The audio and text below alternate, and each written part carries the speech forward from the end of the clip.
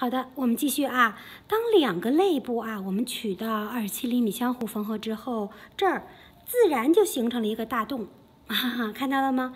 这就专门供我们挑织袖子的地方啊。注意了，边沿的部分啊，无论是我是否强调，都要考虑到一个重要问题，那就是如果涉及到事后要挑针。这个重要的问题之后啊，你一定要注意编针，必须要每一针都织，不要给它不织啊。如果你给它挑下来不织，从第二针开始，这位置就会很紧，整个衣服穿不进去，明白了吗？啊，所以这个时候我们要沿着这个大洞的边沿位置挑出所有针来，注意啊，是挑出所有针来。第二行的时候，我们要给它均匀的减至多少？减至四十八针，然后向下。环形的，给它织一个四十五厘米长的拧针单螺纹的一个什么呀袖子啊？最后给它收系齐边就好了啊！织四十五厘米，挑四十八针，这大家都会啊。那么问题来了，实际上这个时候整件衣服就完成了啊。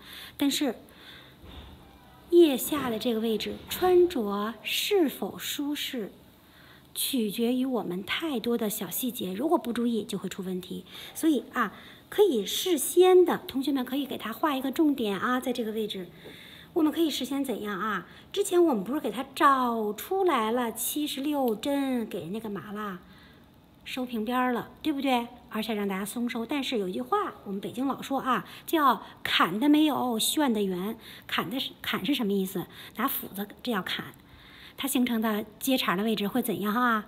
会很粗糙，对不对啊？如果旋呢，我们是拿刀子这样修，又叫修啊，修苹果。我们以前老叫修萝卜哈，修小刀，轻轻的一点一点细细的这样来修的过程当中，它是相对来讲比较细腻的啊。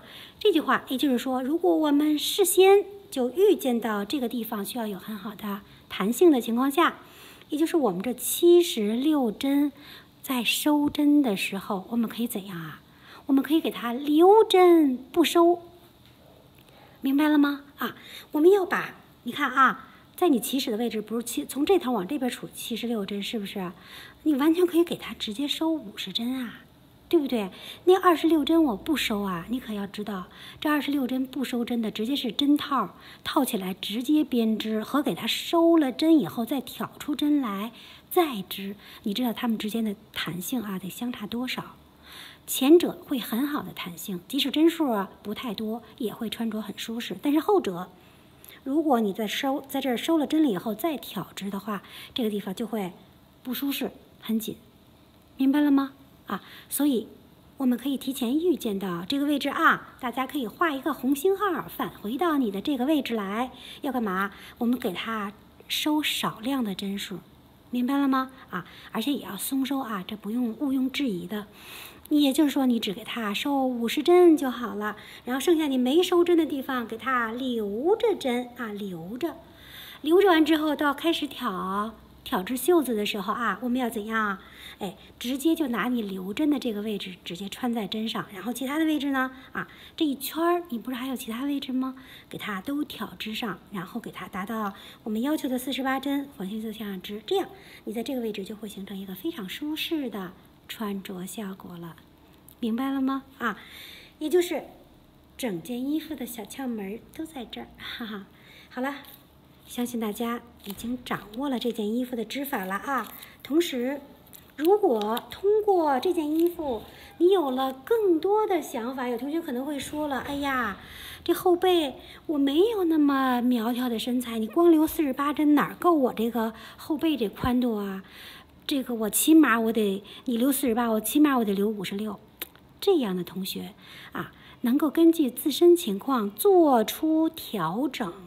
这样的同学啊，都是有设计天赋的，明白吗？啊，大家要有这样的想法啊。也就是说，整体啊，同学们看，它不会有太多的影响。也就是说，你把这个后背剩的这四十八针改成五十六针、五十八针，没有影响，只是你的这个花纹啊，往外多织一点不就行了吗？啊，你原款的时候，你在这个位置，你是什么花纹？你是什么针数？大家已经截过图，对不对？它是由十七针的宽锁链针组成的，对不对啊？你如果增加了针数的话，你把它变成二十一、二十三，只要是单数够织中间的这组花纹的，那不就完全可以吗？不会有任何影响，对不对啊？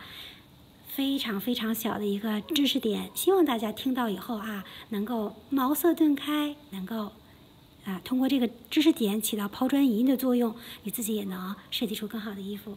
好了，非常感谢各位，如果教程对你有帮助，请点赞。